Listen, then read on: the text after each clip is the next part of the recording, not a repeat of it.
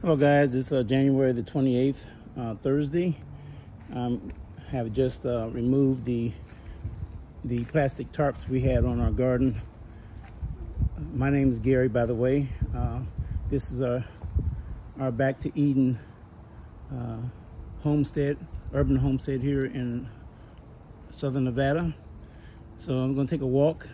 You're gonna hear some noise because I'm brushing up against the plastic. I apologize from the start, but anyway, these herbs here that my wife had planted, and I think it's it's oregano. It's good. But anyway, we lost our our basil. We had different type of basils here. They went to seed, but the first frost we had here in Nevada destroyed them all. So we just replant the whole box. We have a lot of exciting things that we're going to be doing in this garden this year. Um, so stay tuned for that. I'm trying to get a, my own web page up and our web page and mine owned also so that um, I like the soil. That's what I do. Soil, worms. My wife and I are, raising worms also.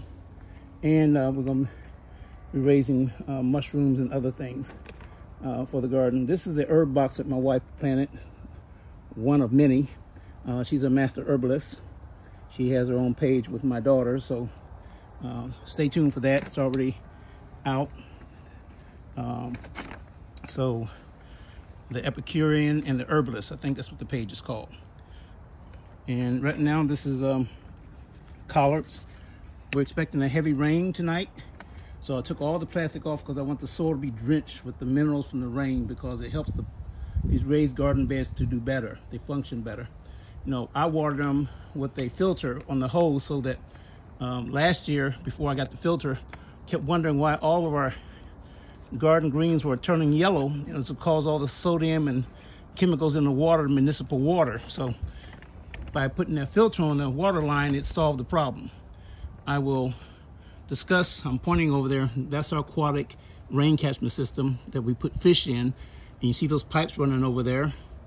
What happens is the DNA from the tanks is leached into these beds. It's all organic. So just thought I'd let you know that. So I'm just taking you on a quick tour. And temperature, I think, is in the low 50s. Or not 50s, but the 40s. And you see different type of um, Swiss chard over here. And lettuce. We have yellow Swiss chard, white Swiss chard, purple Swiss chard. So you can see they're still very healthy. We've been feeding off of them. You can see where we've been cutting stalks to use them for juicing every day and for our salads and our soups. So this is our store. And you have dandelions over there, very good for you. Um, my wife knows every plant out here. I took horticulture in college, and that was my minor. My major was uh, biology because I wanted to be a, a neuroscientist. In third year of med school, I got called back to active duty. But I was discharged in 2003, so I'm glad. Anyway, this is um, field um, mustard, I believe. A mustard, very spicy, very good for you. Um, our tomatoes we lost, we started them late. Last spring we had tomatoes and all the leaf-legged beetles tore them up our cabbage, our squash. I mean, they devoured everything. So this year we're going to employ non-poisonous spiders, praying mantis, lacewing bugs, ladybugs, and even little gecko crickets. To keep the competition healthy. So anyway, this is what we started last spring and we still have food. You know, we come out here, we eat out of our garden raw. some people say, well, I don't believe that. I'm due to have a snack right now anyway.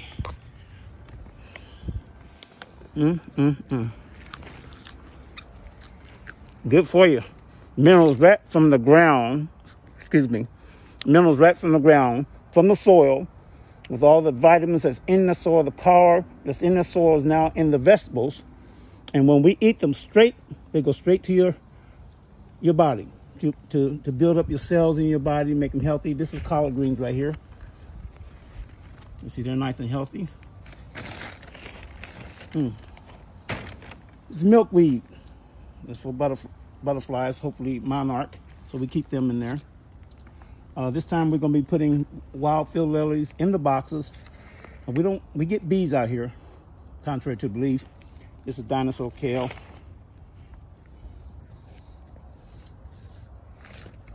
Big old collard greens. Now I shoot raw because I'm still working on trying to edit my stuff professionally. Maybe I'm a farmer, I don't have it done. But I just wanted to show you that you can grow your own food and not starve. And you get good quality vegetables. And you don't have to worry about where it was shipped from, how long it was in the container, how long did they irradiate it before you got it thinking that you had some good leafy greens. And these field mustards are hot. I wanted to show I do eat these. I don't need no salad dressing. I didn't say I don't eat salad with dressing on, but out in the yard, I take it as is. So as you see, everything's very healthy. Got a little bit yellow down there, some frost. But overall, mm, mm, mm, it's so spicy. Make your nose run. Mm. My goodness. It's better than ice cream. I just want you to see. Mm, mm, mm. Now you see, got grow towers. Stuff grew because we started late, but we want to see how we would do. There's worms in the center of these towers. So to enrich the soil. The worm bin that, that we're raising is inside the garage because it's too cold out here. Not that the worms scare because they're underground. They can't fill it anyway, I don't think. These okra stalks gave us plenty of okra. So I'm doing an experiment to see that in spring if they'll rebud. So I'm not cutting these out yet. These are kale, I believe. Not, you guys out there can correct me if you know what they are. Sound off. Beautiful purple kale plant. Majestic.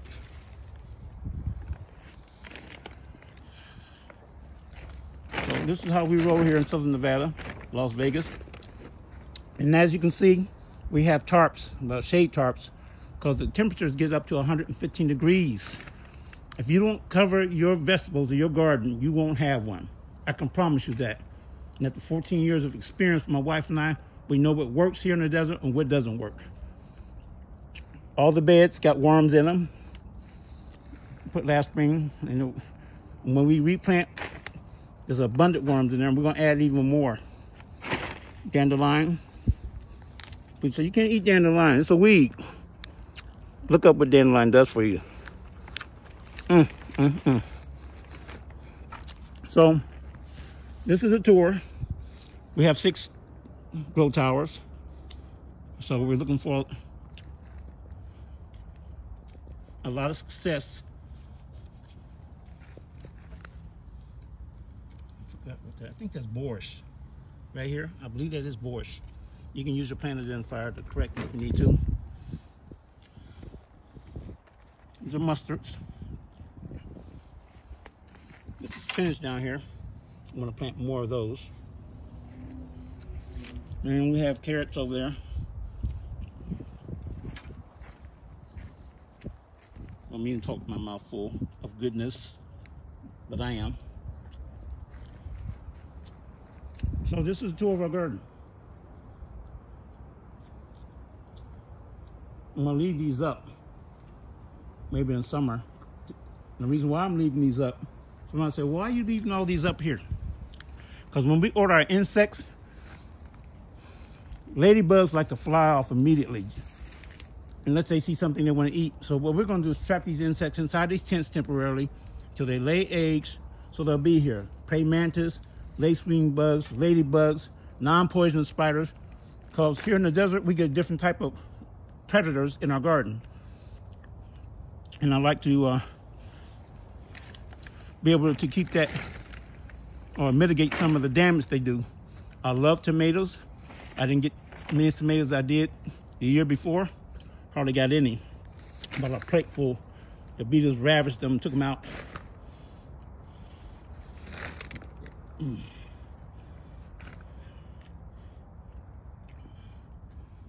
So here we are. This is our own grocery store.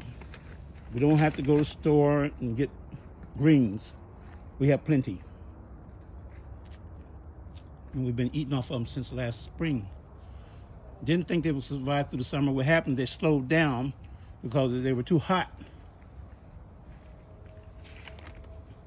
But as soon as the weather started cooling off, everything started jumping up out of the ground.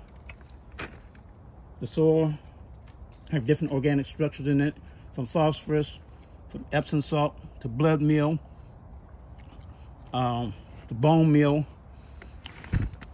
and oyster shells for calcium to strengthen the leaves. Now, some of the things I just named are not readily available. They take months to break down. So I'm constantly looking on YouTube to find out what organic um, components we can use in these boxes that will be readily available while the other organics are working themselves, not just improving the soil structure but for the um, the veggies too.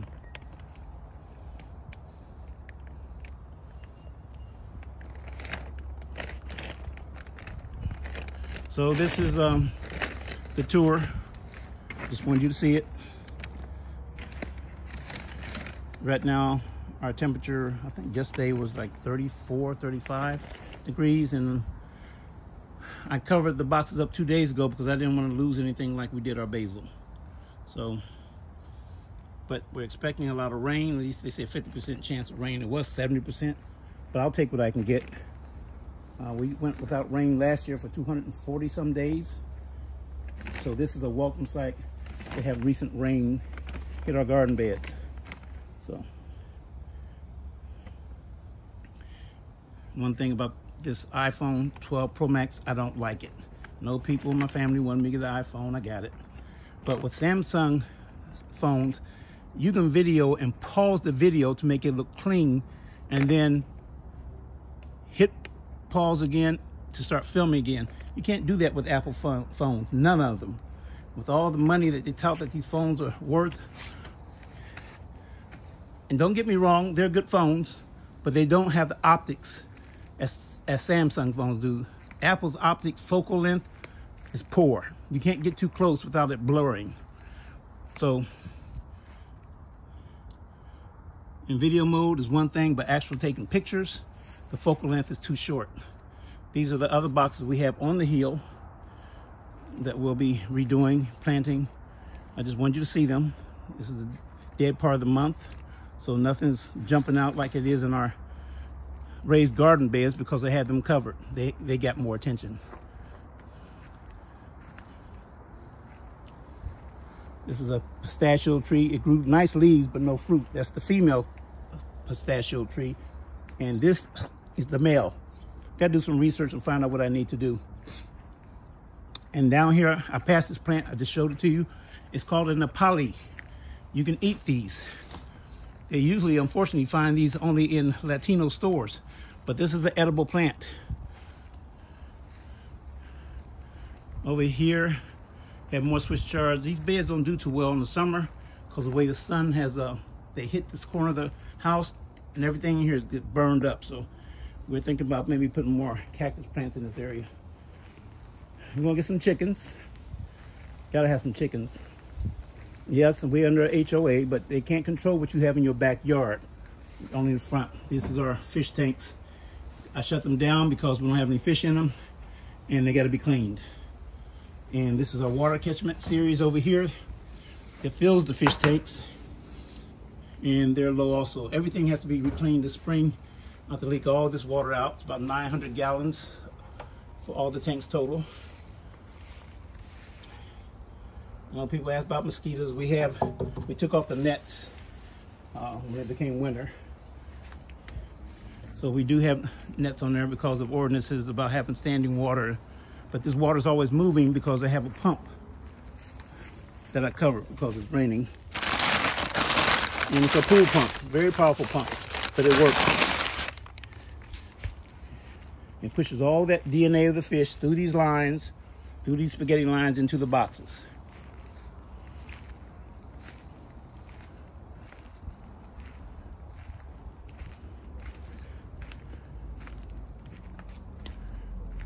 And these are the other herb boxes that my wife, she put all these herbs in here. Just wanted you to see it. I've enjoyed a lot of gardening tips from other gardeners.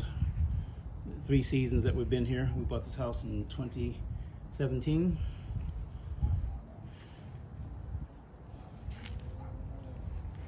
I had this up here because I was demonstrating a plate of food up here.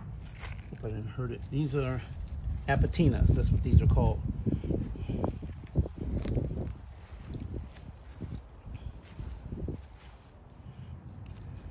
Spearmint plant.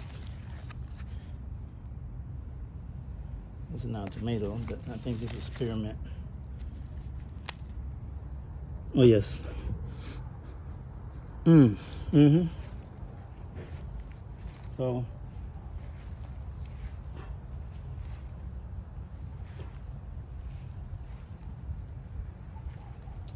and our passion fruit um, they never only bloomed twice.